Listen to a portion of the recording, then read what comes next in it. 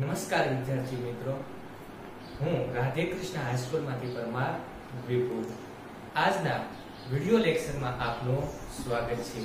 આજે આપણે અંગ્રેજી વિષય ભણીશું ને તેમાં ગ્રામર અને ગ્રામરનો ટોપિક છે આજનો આપણે નાઉન નાઉન એટલે કે ના હવે તેની ડેફિનેશન જોઈએ. ડેફિનેશન એટલે કે વ્યાખ્યા.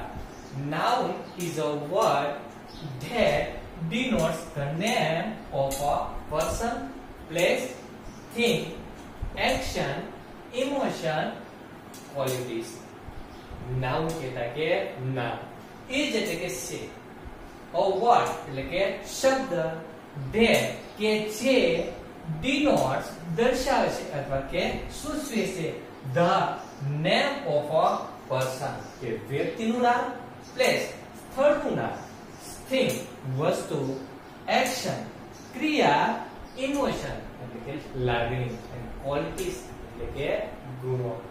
નાઉન એ શબ્દ છે કે જે વ્યક્તિનું નામ, સ્થળનું નામ, વસ્તુનું નામ, ક્રિયા, લાગણી અને ક્વોલિટી સૂચવે છે. હવે તેના ઉદાહરણ જોઈએ. એટલે કે એક્ઝામ્પલ દિવ્યા. દિવ્યા એક વ્યક્તિનું નામ છે.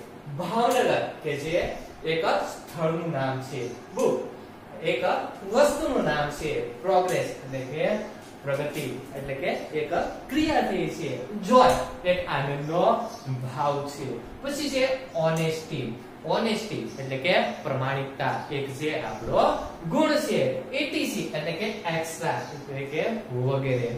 હવે નાઉન ના બે પ્રકાર છે two types of a noun એક પ્રોપર નાઉન એટલે કે સંજ્ઞાવાચક નામ અને બીજું નામ છે કોમન નાઉન એટલે કે જાતિવાચક નામ હવે એક નંબરનું છે આપણે પ્રોપર નાઉન એટલે કે સંજ્ઞાવાચક નામ તે આપણે પહેલો પ્રકાર જોઈએ તો તેમાં પ્રોપર નાઉનની અંદર જે પહેલો અક્ષર હોય છે તે હંમેશા કેપિટલમાં લખવામાં આવે છે. એટલે કે ગમે તે તમે નામ લખો, ત્યારે તે નામનો જે પ્રથમ અક્ષર હોય છે, તે પ્રથમ અક્ષરને પહેલી ડીસડીમાં લખવામાં આવે છે. પછી બીજું જોઈએ, તો કે પ્રોપર નામમાં લગભગ હંમેશા એક વસનમાં હોય છે. એટલે કે પ્રોપર નાઉન છે, તે મોટા ભાગે સિંગ્યુલરમાં હોય છે. એટલે કે એક વસનમાં હોય છે. હવે તે પ્રોપર નાઉન આપણે કોને કહેવા?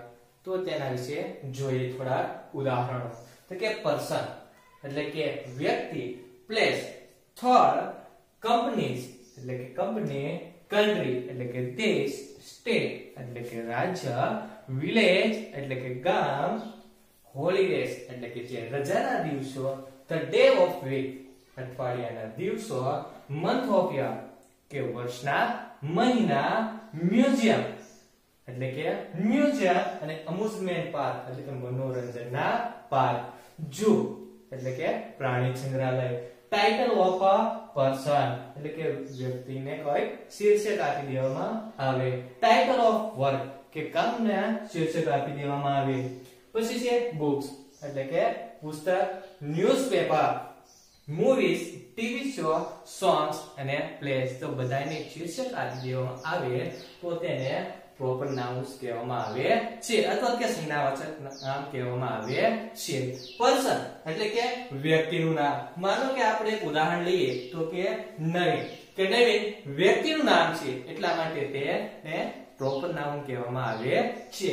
પછી જોઈએ કે એમજી રોડ, કે એ રસ્તાનું નામ છે અને તેને આપણે સ્થળમાં ગણવામાં આવે છે. બીજું છે કે ગૂગલ કે ગૂગલ એક કંપની છે, એટલા માટે તેને પણ આપણે પ્રોપર નાઉન ગણીશું એમેઝોન પણ એક કંપની છે, એટલા માટે તેને પણ આપણે પ્રોપર નાઉન ગણીશું. એટલે કે સંજ્ઞાવાચક નામ કહીશું. પછી છે કન્ટ્રી તો કન્ટ્રીમાં આપણે લખી છે કે ઇન્ડિયા એટલે કે ભારત છે.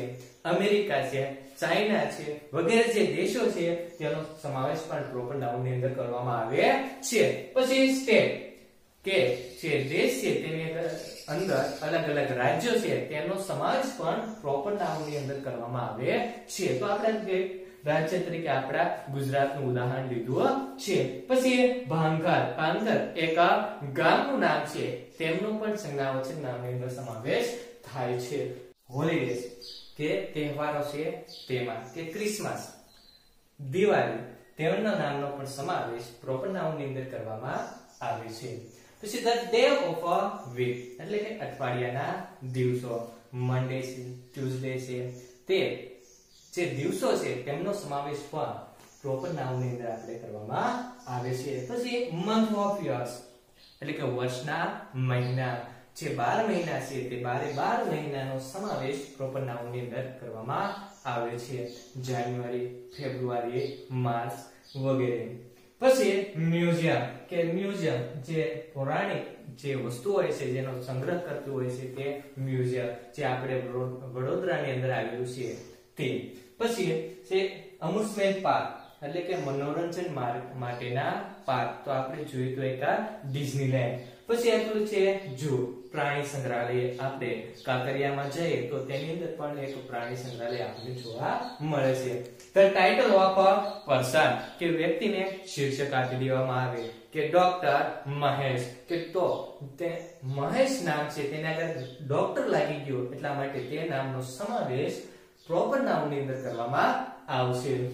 પછી ટાઇટલ ઓફ પ્લેસ કે જે રમતો છે તેને આપવામાં આવે છે. માનો કે ટ્રિગર પછી બુક્સ એટલે કે પુસ્તકો, કે જે પુસ્તકનું નામ છે તેને એક શીર્ષક આપી દેવામાં આવે તો કે જેમ ઘણા પુસ્તકો હોય છે, તેમ અલગ અલગ નામ આપેલા હોય છે તે નામ. પછી છે ન્યૂઝપેપર એટલે કે સમાચાર પત્રો, કે જે સમાચાર પત્રોના જે નામ છે તે નામનો પણ સમાવેશ પ્રોપર નાઉનની અંદર આપણે કરીએ છીએ. પછી મૂવીઝ એટલે કે ફિલ્મમાં માનો કે આપણે એક મૂવીનું નામ લઈએ તો આ ગંગા. કે જો દંગલ નામ છે તેનો સમાવેશ પ્રોપર નામની અંદર કરવામાં આવે છે. પછી ટીવી શોઝ એટલે કે જે ટીવી ની અંદર જે પ્રોગ્રામો આવે છે તેમનો સમાવેશ. પછી સોંગ્સ કે ગીત.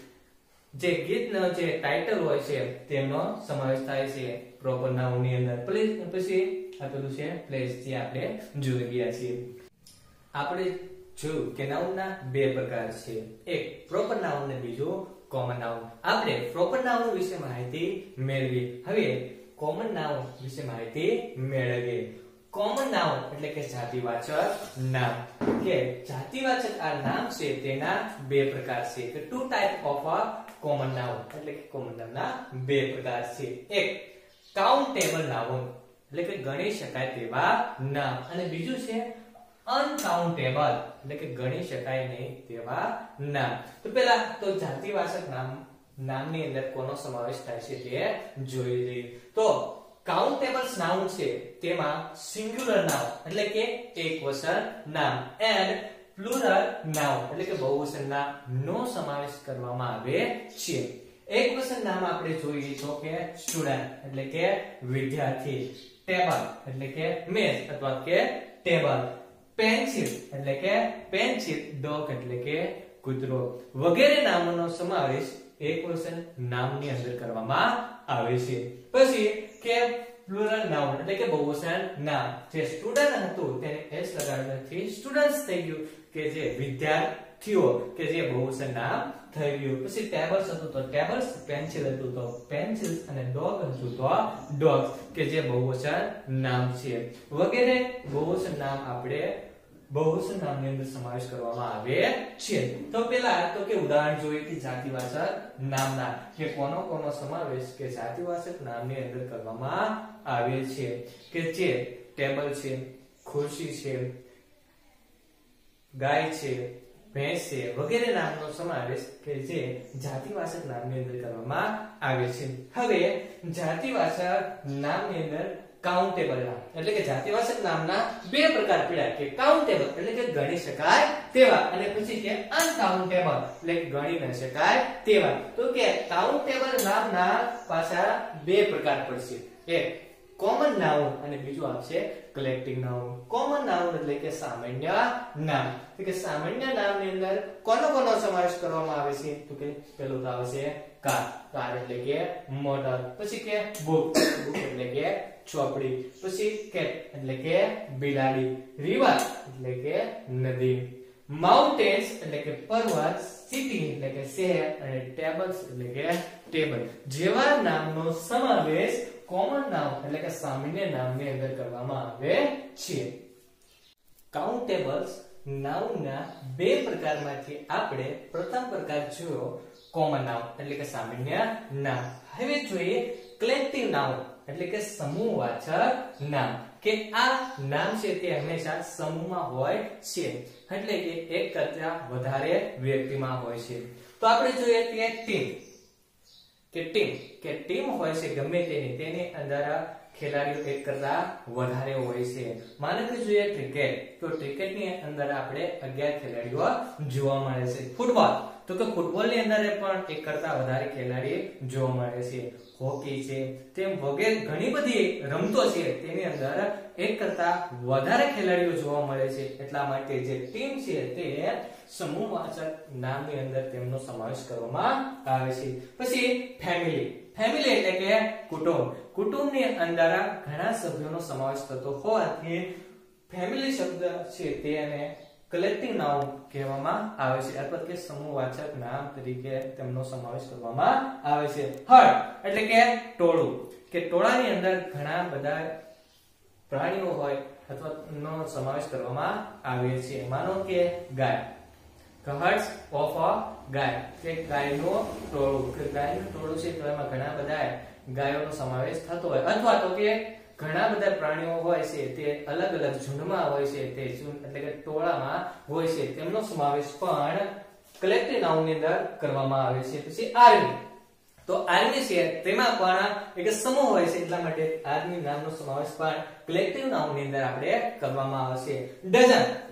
ડઝન છે તેની અંદર પણ 12 વસ્તુનો સમાવેશ કરવામાં આવે છે તે એટલા માટે ડઝન ને પણ આપણે કલેક્ટિવ નાઉન ગણવામાં આવે છે. પછી છે સોસાયટી ઓફ પીપલ કે લોકોની સોસાયટી કે સોસાયટી હોય છે ત્યાં ઘણા બધા લોકો રહેતા હોય છે એટલા માટે સોસાયટી ઓફ પીપલ છે તે નામનો સમાવેશ પણ કલેક્ટિવ નાઉનની અંદર કરવામાં આવે છે. આપણે જોયું કે નાઉન નાઉનના બે પ્રકાર જોયા એક કોમન નાઉન અને બીજું પ્રોપર નાઉન કે પહેલો પ્રકાર હતો પ્રોપર નાઉન બીજો પ્રકાર હતો કોમન નાઉન હવે કોમન નાઉન ના પણ બે પ્રકાર છે. એક કાઉન્ટેબલ અને બીજો અનકાઉન્ટેબલ એમાંથી આપણે કાઉન્ટેબલ ના બે પ્રકાર જોયા કે કોમન નાઉન એટલે કે સામાન્ય નામ અને કલેક્ટિવ નામ એટલે કે સમૂહવાચક નામ.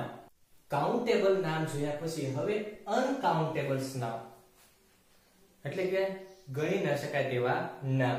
તો કે તેના બે પ્રકાર છે. એક મટીરીયલ નામ, એટલે કે દ્રવ્યવાચક નામ. અને બીજો પ્રકાર પડે છે એબ્સ્ટ્રેક્ટ નામ, એટલે કે ભાવવાચક નામ. તો પહેલો પ્રકાર જોઈએ આપણે મટીરીયલ નામ, એટલે કે દ્રવ્યવાચક નામનો કે જેમાંથી આપણે બીજી વસ્તુ બનાવી શકીએ તેને દ્રવ્યવાચક નામ કહેવામાં આવે છે. ગોલ્ડ એટલે કે સોનું. કે સોનાની અંદરથી આપણે જે જ્વેલરી બનાવી શકીએ છીએ, એટલે કે આભૂષણો બનાવી શકીએ છીએ. પછી છે સિલ્વર. કે તેમાંથી પણ બનાવી શકીએ છીએ આયર્ન આયર્ન એટલે કે લોખંડ. કે લોખંડની અંદરથી પણ વિવિધ જાતની આપણે વસ્તુઓ બનાવી શકીએ છીએ. વુડ એટલે કે લાકડું. કે લાકડાની અંદરથી પણ આપણે વિવિધ પ્રકારની વસ્તુઓ બનાવીએ છીએ. પછી ક્લે એટલે કે માટી. માટીની અંદરથી પણ આપણે વિવિધ વાસણો બનાવીએ છીએ. પછી છે મિલ્ક મિલ્ક એટલે કે દૂધ. કે દૂધની અંદરથી આપણે અલગ અલગ સ્વીટ બનાવીએ છીએ. સ્વીટ એટલે કે મીઠાઈઓ બનાવીએ છીએ. પછી છે વીટ વીટ એટલે કે ઘઉં. કે ઘઉંની અંદરથી પણ અલગ અલગ ચીજ વસ્તુ આપણે બનાવી શકીએ છીએ.